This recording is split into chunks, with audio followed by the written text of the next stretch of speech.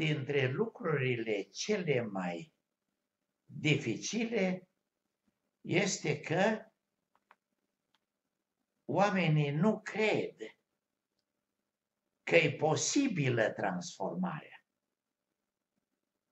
Și auzi creștini, pastori, teologi, care vin și ți aduc tot felul de argumente, unele, zic ei, biblice, că nu-i posibil.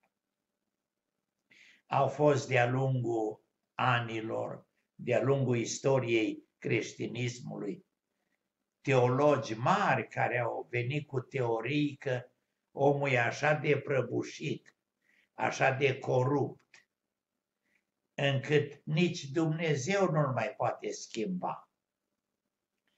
Prin urmare, n-are rost nici măcar să te apuci de lucru, pentru că transformarea nu-i posibilă. Și doar să ne limităm să credem în jertfa Domnului Isus și pe baza asta ne ducem în cer, dar să nu ne așteptăm la schimbare radicală. Aceasta e lupta cea mai mare pe care o avem noi de dus, aceia care am îmbrățișat proiectul bunătății proiectul de a transforma oamenii răi în oameni buni și de a crea o țară ideală. Cum răspundem la aceasta? În primul rând, introducem aici unul dintre elementele de bază ale acțiunii noastre, și anume învățătura Domnului Isus Hristos. Fundamental în proiectul acesta este învățătura Domnului Isus. Fiți, vă rog, atenți. În Matei 7 cu 21, nu oricine îmi zice, Doamne, Doamne, ci numai acela care face voia Tatălui care e în ceruri. Dar care e voia Tatălui? Imediat Domnul Isus adaugă în versetul 24, de aceea, cine aude aceste cuvinte ale mele și le face. Nu oricine, ci numai cine face voia Tatălui. De aceea cine are aceste cuvinte ale mele și le face. Observați paralela. Voia Tatălui, aceste cuvinte ale mele. Prin urmare, voia lui Dumnezeu pe pământ e explicată, dată în învățăturile Domnului Isus. Acum ne aducem aminte de rugăciunea Tatăl nostru. Vie împărăția ta, să se facă pe pământ voia ta ca în cer. Dar care e voia ta?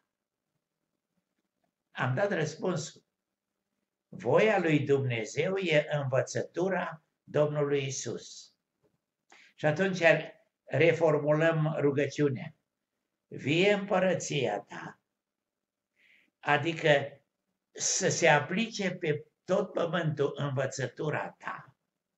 Oamenii să trăiască după învățătura Domnului Isus. Aceea înseamnă facă-se voia ta. Când toți oamenii de pe pământ vor face voia Tatălui, adică vor trăi după învățătura Domnului Isus, va fi pe pământ ca în cer. Va fi cerul coborât pe pământ.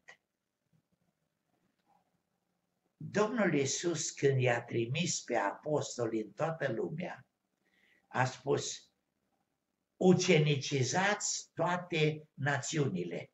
Matei 28 cu 19. Cum? Învățându-i ce v-am învățat eu și învățându-i să, să trăiască după învățăturile acestea. Aceasta înseamnă să extindeți împărăția pe tot pământul. Și aceasta înseamnă că voia lui Dumnezeu e pe tot pământul. Și asta înseamnă că se face pe pământ cum se face în cer. Iarăși, unii vor zice, astea sunt imposibile. Ce părere aveți? A lansat Dumnezeu un proiect atât de clar,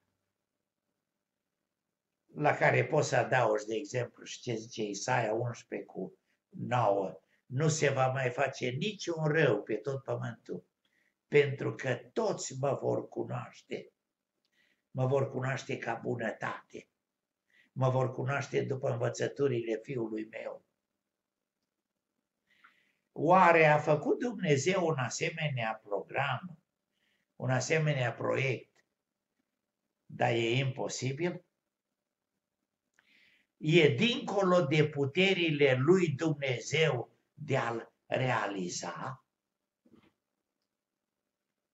Nu vi se pare că e ciudat că noi negăm posibilitatea lui Dumnezeu sau capacitatea lui Dumnezeu de a-și împlini proiectul? Și până la urmă să zicem, diavolul va rămâne stăpân peste omenire. El i-a pervertit pe oameni așa de tare încât nici Dumnezeu nu mai poate transforma.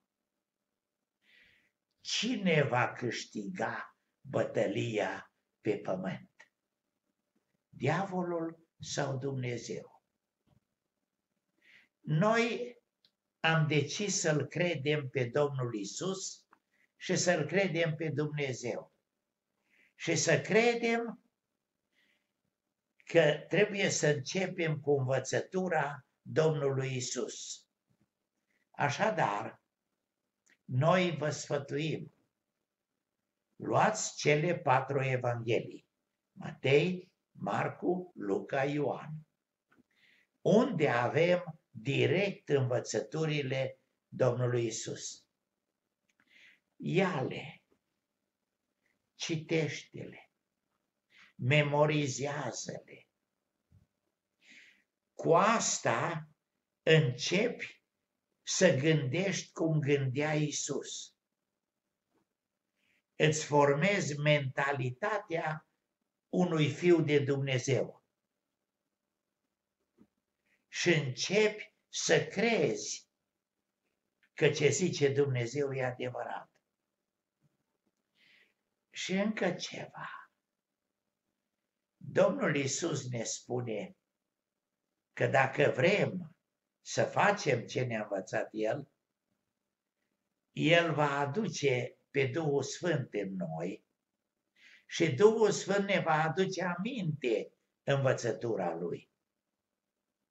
Nu poți să-ți aduci aminte ce n-ai pus în minte.